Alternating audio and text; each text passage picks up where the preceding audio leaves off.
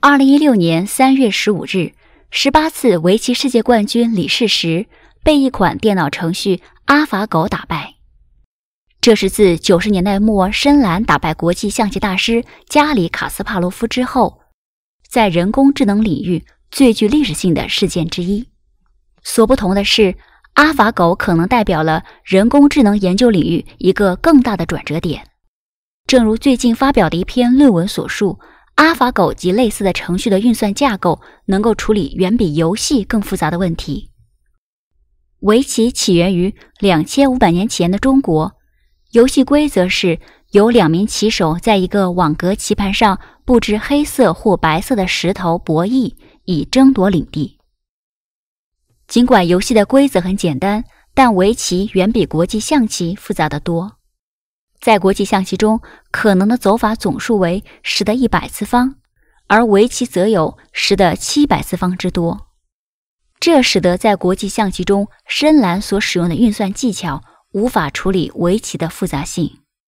正是这种复杂性，使围棋对人工智能研究者来说充满了吸引力。一款能够自己学习如何下好围棋的程序。或许在某些方面可以处理其他复杂的人工智能的问题。出人意料的是，开发阿法狗的团队谷歌 DeepMind 并没有创造任何新的人工智能概念或方法。其实，阿法狗成功的秘密是其如何整合并运用了最新的数据驱动人工智能方法，这被称为深度学习。这种人工智能的分支。学习如何在无标签的数据集中识别高度抽象的模式，主要是通过使用模仿大脑处理信息的计算网络。作者们认为，这种神经网络的方法可以被认为是 ACP 技术的一个具体例子。ACP 是人工系统计算实验和并行计算的缩写。ACP 有效地缩短了阿法狗为决定一步棋。必须搜索的游戏空间。阿法狗并没有费力地搜索所有可能的下法，而是通过不断与自己下棋，并学习以前下的棋来识别游戏模式。实际上，阿法狗感受到了围棋棋手所说的棋形。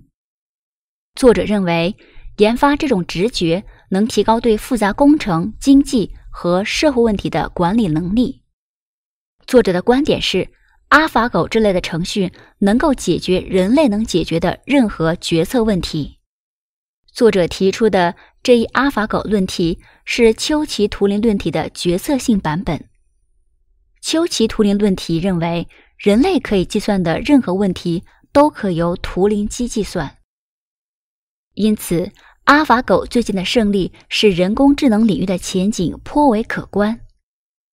尽管深度学习要取得围棋领域之外的成功，很可能还需要数十年以上的研究，但阿法狗是一个好的开始。